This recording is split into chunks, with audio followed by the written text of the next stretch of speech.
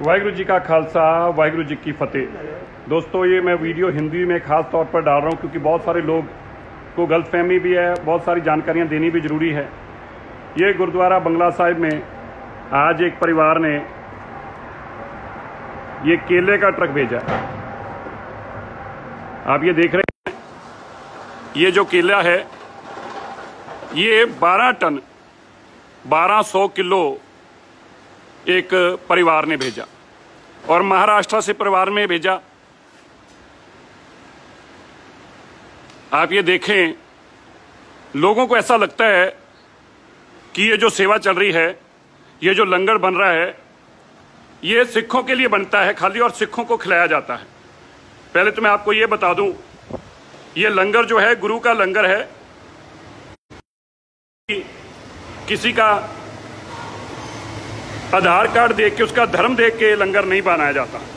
ये देखो आप सारे प्रसादों के, ये सारे प्रसादों के, ये सारे जो भी आप देख रहे हैं लंगर, ये भर भर के प्रसादे एक एक में, ये गरीब उन लोगों के लिए जा रहे हैं, जिनके पास घर नहीं है, जिनका रहने को जगह नहीं है, और इनमें शायद मात्र ही कोई सैकड़ों में भी गिनती में सिख नहीं होंगे। ये सारा जो है, ये आप देखें, जहाँ इसमें दान देने वाले में भी जितने सिख हैं, उससे उतने ही गैर सिख हिंदू भाई भी हैं। उसी तरह ये जो आप लंगर बनता देख रहे हैं, ये एक गुरुद्वारे का है। गुरुद्वारा बंगला साहब का है। किन्ना बन गया लंगर आज।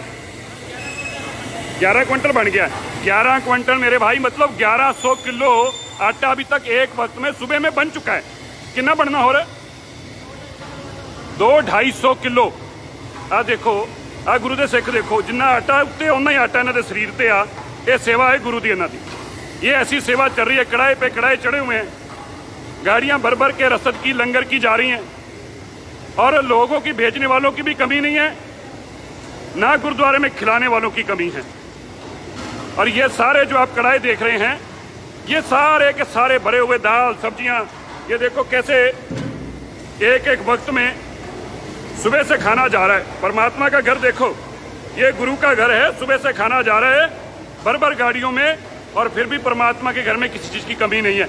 अब भाई किन्ने, किन्नी दाल बन गई सवेर दी? दस देगी मतलब किन्ने क्विंटल? किन्नी, किन्ने क्विंटल बनी दाल दसो जी। साढ़े तीन सौ? साढ़े तीन क्विंटल दाल सुबह से बन चुकी है। साढ़े तीन सौ किलो। ते चावल किन्ने? छह सौ? बन चुके हैं। सौ किलो चावल बन चुके हैं। साढ़े तीन सौ किलो दाल बन चुकी है। हूँ होर कि बनाओगे? ढाई सौ किलो अजय होर बना रहे हैं और चावल कि नहीं बनाओगे और? पाँच सौ किलो चावल अभी और बनेंगे। आप देखो, छह सौ किलो चावल बन गए, ग्यारह सौ किलो चावल। 1100 किलो ट्रक होता है एक, और 600 किलो दाल। एक वक्त में 1200 किलो। आप देखो, आटे की तैयारी। ये गुरु घर की सेवा है। ये मानवता की सेवा करने वाले ये फरिश्ते हैं। मैं आपको जहाँ इनका धन्यवाद आप करें, वहाँ मैं उन भाइयों का धन्यवाद करता हूँ जो हमें इतनी बड़ी रसद भेज रहे हैं। ट्रकों के ट्रक भेज के, सामान के भेजे जा रहे हैं। कल बहुत बड़े स्तर पर 1200 पता नहीं कितने क्विंटल आटा भेजा, एक ने किसी ने राइस भेजे आज आपने देखा है 12 क्विंटल 1200 किलो केले भेजे और सुबह से लेकर शाम तक सामान देने वालों की ना कमी है, ना खाने वालों की, ना खिलाने वालों की और ना ही बनाने वालों की। यह सेवा निरंतर आपकी चलती रहेगी, इसी तरह चलती रहेगी। मैं उन सबका धन्यवाद करता हूँ जिनके कारण यह सेवा निरंतर चल रही है। आप सबका बहुत बहुत धन्यवाद। इसी तरह मानवता की सेवा लगातार चलते रहेंगे। कल हमको दिखाएँगे किस तरह यहाँ से मीठे चावल बन के जाएँगे। हर दिन नई चीज़ बन के जाती है। कभी सब्ज़ी, कभी राजमा, कभी चने, कल मीठे चावल बन के जाएँगे।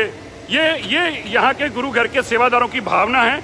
मुझे उम्मीद है आपको इनकी भावना की ज़रूर कदर करेंगे और इनके लिए भी दुआ करें, अरदास करें, प्रार्थना करें। इनके बच्चे भी हैं, इनके माँ बाप भी हैं। हम घरों में बैठे हैं, लेकिन ये मानवता की सेवा करने के लिए आपके बीच में सेवा कर रहे हैं। तो मैं इन सब सेवादार को कहूँगा, एक बार आपको फतेह बुलाएँगे और मैं आपसे इजाज़त लेंगे। वाहिगुरु जी का खालसा। ये निरंतर सेवा चलती रहे इसके लिए आप हमारा ज़्यादा से ज़्यादा सहयोग करें हमारा ज़्यादा से ज़्यादा योगदान दें ये हमारे सारे सेवादार रंजीत सिंह जी ये सुबह से लेकर शाम तक रात को सुबह सेवा करने आ जाते हैं रात तक सेवा करने फतेह बुलाओ जी